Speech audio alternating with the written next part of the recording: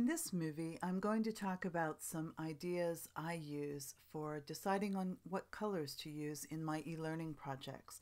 I work in uh, Adobe Illustrator. I create all my graphics and my backgrounds in Illustrator. And I do like my projects to be colorful, so I just have a few here to show you. Here's one. So you can see that I really do like to work with color. So a couple things that I've been using lately. I've been using Illustrator since 1988, but I've just recently started playing with the swatch libraries a little bit more, and I found a few that I really like. So if I go to Window, down to swatch libraries, I just recently started playing with the art history ones. I've never really even worked with them before. I'm in love with the Baroque palette. So if I bring that one up, and I'm just going to drag this on the bottom right to make it a little bit bigger so you can see the colors. It just has some beautiful colors in it. So that one and the Impressionist one are the two that I have had open the most lately. Those two I've been working with a lot. So a lot of the colors that you see in these projects that I have here came from those those uh, those two palettes. So I love the Baroque and the Impressionist, but there are lots of other ones under there. For example, I have worked with the skin tone ones before when I've done some illustrations. There's a neutral palette, there's a foods palette, lots of different ones. So you can go in here and get an idea of some colors that might work together. This would be one thing you could do to start exploring. As I said, this Baroque one, these colors are just absolutely divine to me, and I've been using a lot of these in some of my different projects. So that's one thing.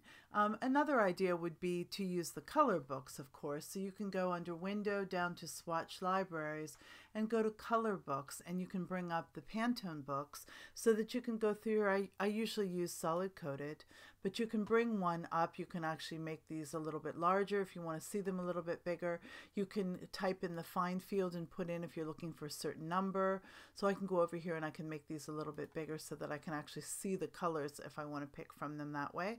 And as I click on them, they automatically get added to my swatches panel. So that's another way that you can explore color.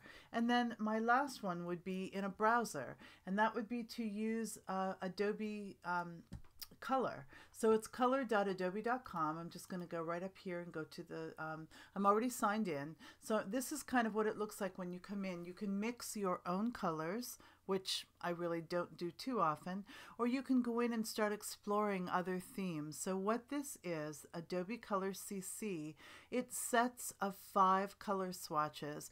Most of them were created by other people just like you and me, and people just add keywords to them to make it easy for you to search for things. So for example, if I click on Explore, and if I go in here and type in dentistry, I'm just thinking of words off the top of my hand, uh, top of my head rather.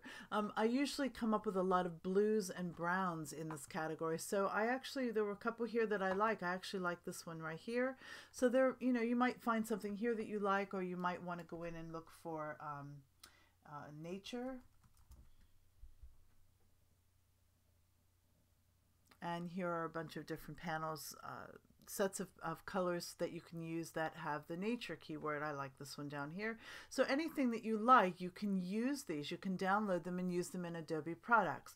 I actually built my entire website and branding for my company on one that I found in here that was called 1963 Travel Brochure. So I'm going to just search for 1963 Travel and there it is. These colors I thought were really fun and I used those to create my brand for my company. So let's say you like this and you want to download this one. Notice when I hover over it, I get some options here.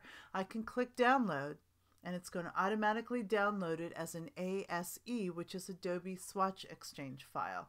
Now I can go back to Illustrator and I can go to my swatches panel and I can choose Open Swatch Library and go down to Other Library, go out to where I had downloaded that, which is on my Downloads folder, grab it and choose Open. And it opens that palette and then I can go in here and grab this and just pull this right into my swatches. So now I have those colors that I can just use anytime I want. So that is just another way that I can uh, come up with my own colors. I use the um, Adobe Color CC. I use uh, the swatch libraries. I go through the color books. Those are just some of the ways that you can add and explore different colors in Adobe Illustrator.